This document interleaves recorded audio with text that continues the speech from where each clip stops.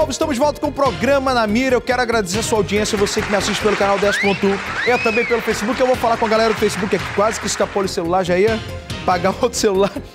Olha só o Ellison dizendo aqui, ó. Assistindo o melhor programa da Amazônia Legal, diretamente aqui de Belém do Pará. Grande abraço pro povo de Belém do Pará. Olha ali a Leão, tá presente como sempre. Wilson Dantas, bom dia, manda um alô aqui pro Wilson do Conjunto Vila da Barra do Nova Cidade. Grande abraço pro povo de Vila da Barra. Andressa Gomes, bom dia para você, minha querida. Um grande abraço. Rosenberg, grande abraço para você, meu amigo. Tem também Romilson Serrão Pedrosa. Bom dia, Luiz. Na mira, o programa que é porrada de audiência. Tá certo, é desse jeito mesmo. Ângela Brito, Keila Leal, grande abraço para todos vocês que me assistem, meu povo. Vocês são, claro, sempre muito bem-vindos aqui, muito bem-vindos. Né? Errando no português aqui não pode, tá certo? E a gente faz o programa para você, tá certo? Vem para cá com a gente porque tem muita matéria um posto de gasolina foi assaltado na Avenida Cosme Ferreira, na zona leste da capital. Quem conta essa história? Quem? Quem, Baixinho, que conta essa história? Errou. Vanderlei Modesto, homem de sapato azul na tela do Namira. Madrugada de sexta para sábado, último final de semana. Foi aqui nesse posto o cenário de terror e pânico. Enquanto o pessoal trabalha para sustentar a família, cinco bandidos jovens chegaram aqui armados, com faca, e fizeram um arrastão. Primeiro, eles foram até a Ilha Gelada, até a loja de conveniência. E ali, eles pegaram refrigerante, eles pegaram bebida alcoólica forte, eles pegaram cigarro, pegaram dinheiro e aí vieram para cá. Renderam também os funcionários, os frentistas. Eles são perigosos, eles não medem esforços, eles não têm sentimento. E as pessoas hoje trabalham aqui em pânico. Ninguém quer aparecer com medo de represália, porque a polícia ainda está atrás desses cinco elementos. E eles são tranquilos, agem na maior naturalidade. A moça do caixa está escondida aqui atrás, com medo, porque se mostrar o rosto é arriscado, é perigoso. Eu queria que esses bandidos estivessem aqui na hora que um carro-tanque desse aqui, ó, cheio de gasolina, estivesse aqui também. E quando eles fossem saindo, acendesse um cigarro e explodisse. São cinco vagabundos. Garoto novo, que estão foragidos. Mas a polícia tá na tua cola. As imagens são de Shell com apoio técnico de Pedro Paulo. O sapato verde, o perna, deixa pra lá a perna, né, Brinjo? Eu sou Vanderlei Modesto, homem do sapato azul. E sendo na mira. Ei!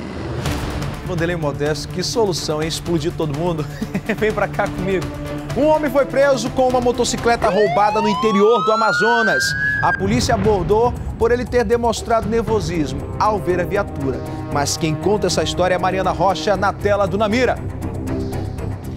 Exatamente. Essa ocorrência foi lá no município de Tabatinga, região de fronteira aqui do Amazonas. O que aconteceu foi o seguinte: a polícia fazia um patrulhamento de rotina ali naquela região, no município, quando avistou o indivíduo em uma moto de cor roxa e sem placa, em atitude suspeita. O rapaz ficou nervoso ao ver a polícia, que logo parou e o abordou. Ele foi identificado como Eno Pacífico Siqueira, de 32 anos de idade. Quando a polícia polícia abordou esse indivíduo, identificou que a moto em que ele estava era uma moto roubada. O que aconteceu?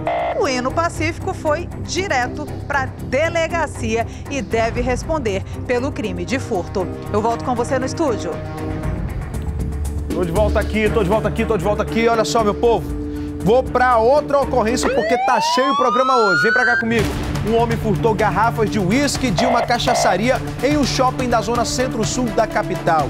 O prejuízo para o estabelecimento é estimado em aproximadamente 10 mil reais. Quem conta essa história é a Cheyenne Nascimento na tela do Namira.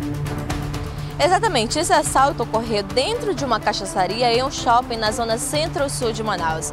Nas imagens de segurança, é possível ver esses três jovens, duas mulheres e um homem, sentados na mesa ali consumindo bebidas alcoólicas como cerveja e também água.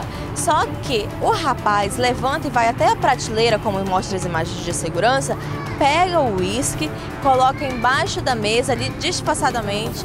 A jovem que está sentada do lado direito dele está com uma bolsa. Ela pega, disfarça, se abaixa, pega a garrafa de uísque e coloca dentro da bolsa.